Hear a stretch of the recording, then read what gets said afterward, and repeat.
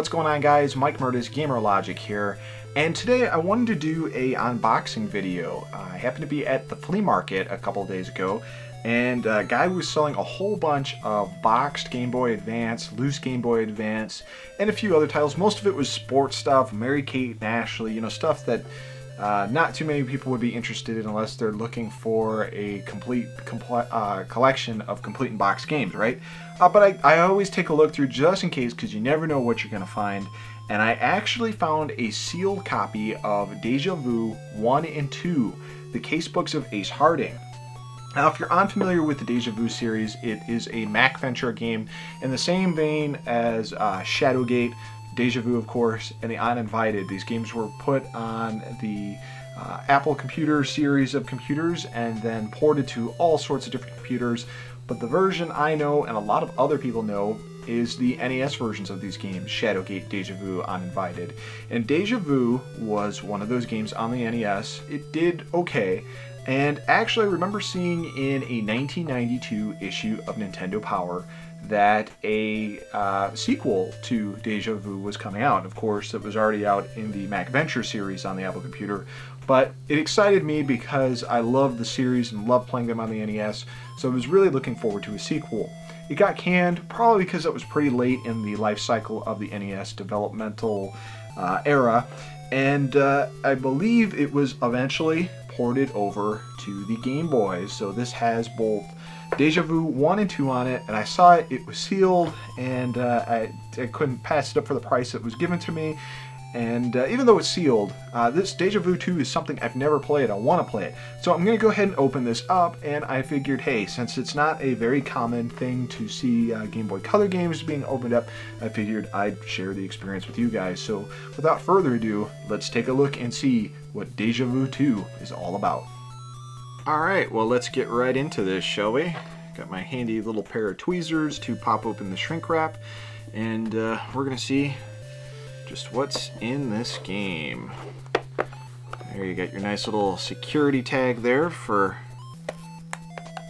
making sure no one's to rip the game off.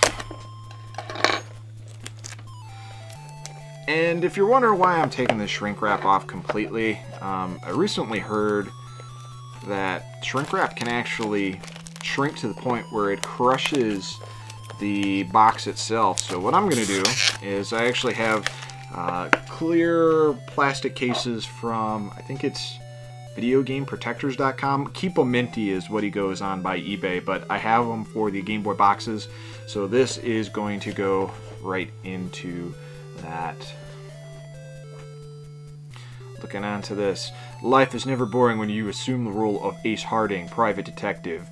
In Deja Vu 1, you will scramble down dark alleys of Chicago, searching for a cure for your amnesia and a killer who has you framed for a brutal murder. After solving the first case, you'll uncover a few loose strings that gradually unravel into Deja Vu 2. Trapped in the slimy town of Las Vegas, you find yourself dealing with a notorious mob leader who makes you an offer you can't refuse. That's what's on the back of the box. I'm just not pulling that out of my butt. Curious to see how the color stands up with uh, the original NES game. I'm pretty sure the Game Boy had a pretty limited amount of colors. And what year did this come out? It was 1999. But anyway, we got the shrink wrap off this thing, so let's pop her open.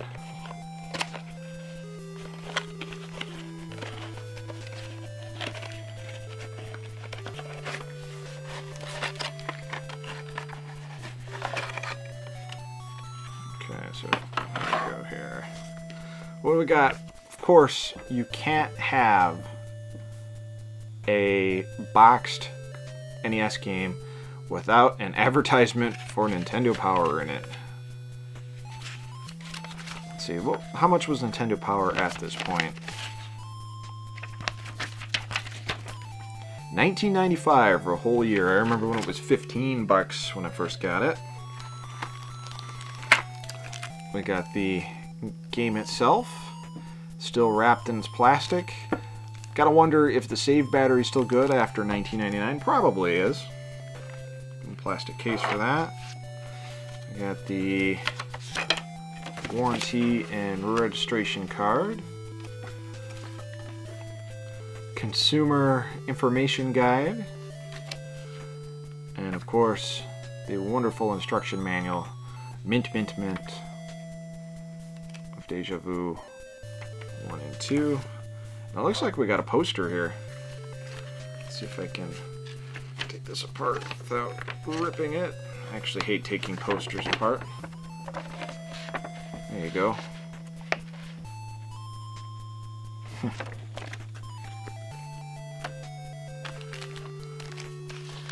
but yeah, there you go. That is the insides of Deja Vu 1 and 2, the case files of Ace Harding. And I'm looking forward to firing this up and playing it. Man, is that a nice, shiny, mint looking Game Boy cart. I love the way the Game Boy Color carts look actually with this clear casing. But that's all guys. Thanks for watching.